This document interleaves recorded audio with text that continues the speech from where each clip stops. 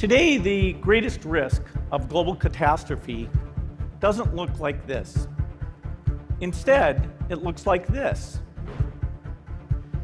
If anything kills over 10 million people in the next few decades, it's most likely to be a highly infectious virus rather than a war. Now, part of the reason for this is that we have invested a huge amount in nuclear deterrence.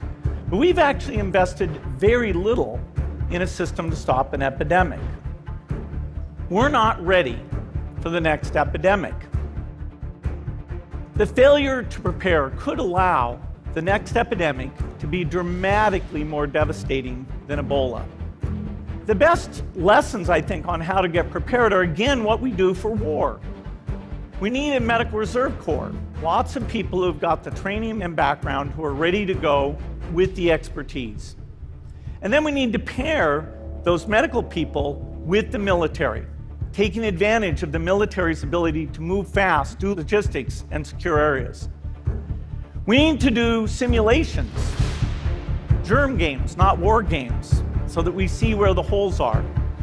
Finally, we need lots of advanced R&D in areas of vaccines and diagnostics there are some big breakthroughs like the adeno-associated virus that could work very, very quickly. Now, I don't have an exact budget for what this would cost, but I'm quite sure it's very modest compared to the potential harm. The World Bank estimates that if we have a worldwide flu epidemic, global wealth will go down by over $3 trillion, and we'd have millions and millions of deaths. If we start now, we can be ready for the next epidemic. Thank you.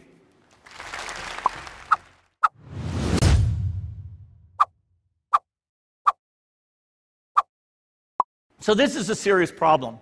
We should be concerned.